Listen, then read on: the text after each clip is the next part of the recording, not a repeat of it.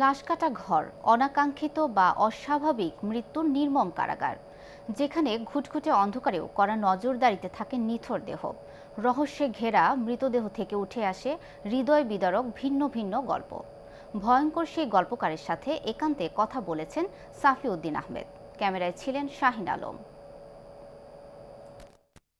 হত্যা, আত্মহত্যা কিংবা দুর্ঘটনা যে কোনো অস্বাভাবিক মৃত্যুর কারণ খোঁজা হয় লাশ কাটা ঘরে। যাপিত জীবনের অনেক অজানা রহস্য উন্মোচিত হয় সেখানে। পোস্টমর্টেম বা ময়নাতদন্ত নামে পরিচিত এই বিশাল কর্মযজ্ঞের মূল কুশীলবকে বলা হয় ডোম।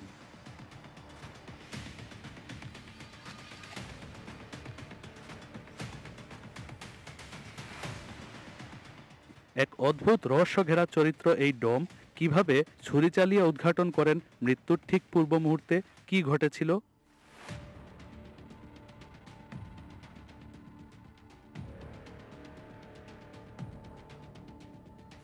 যখন কোনো পয়জনিং টেস্ট পাই বা কোনো সন্দেহ থাকে, তখন সেক্ষেত্রে আমরা বিচারা কেমিক্যালে যাব।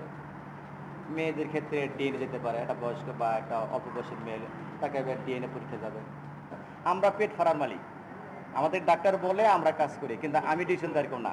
বংশ পরম্পরায় দেখে দেখে শিখেছেন লাশ কাটার কাজ। সমাজ তাদের বাঁকা চোখে দেখে, তির্যক মন্তব্যও করে কেউ কেউ। কিন্তু তাতে মোটেও কর্ণপাত না করে নিজের পেশাকে সর্বোচ্চ সম্মান করেন তারা। আমার আত্মীয় স্বজন সবাই করতেন, বাবা চাকরি করতেন মেডিকেল ইয়ে কলেজে আর কি। একটা ডিগ্রি কলেজ চাকরি করতেন। ওই সুবাদে আমার আমার দুলাভাই ছিল হলো রমেশ মিটফোর্ডে ওনার সুবাদে আমি তখন ওই সময় চাকরিটা আমার হয়। ওনাদের কাছ থেকে কাজ। এবং আমাদের পরস্পরভাবে কাজ তো, মনে করেন আমরা এই পেশে যারা আছি, তখন আমাদের এই বডির সম্বন্ধে আমাদের আর কোনো ঘৃণাপিত নাই। তার মানে কি? ওই যে আমার ভাই করছে, আমার আত্মীয় করছে, আমারও করছে।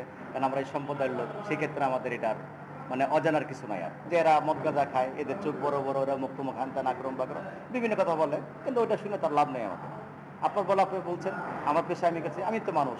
ডোমদের নিয়ে প্রচলিত বহু মিথ রয়েছে সেগুলো আসলে ভিত্তিহীন। তবে একজন মৃত মানুষের জীবনের না বলা শেষ কথাটি শুনে আবেগতাড়িত হন মাঝে মধ্যে। একটা যেমন একটা বেবি বেবির ক্ষেত্রে মনে করেন একটু মায়া লাগে। একটা ভালো মানুষ মারা গেছে একটা দেখা গেল সেই ক্ষেত্রে প্র্যাকটিস করতাম তুই এটা কীভাবে মারা গেল? আলো আধারের খেলায় মৃতদেহের ব্যবচ্ছেদ করে হাজারো প্রশ্নের উত্তর খুঁজেন এই পেশার মানুষগুলো। সমাজ যে চোখেই তাদের দেখুক না কেন, দিন শেষে সততা এবং নিষ্ঠার সাথে নিজের সর্বোচ্চটুকু উজাড় করে দিয়ে তৃপ্তির সাথে বাড়ি ফেরেন তারা। Shafiuddin Ahmed, Asian television, Dhaka.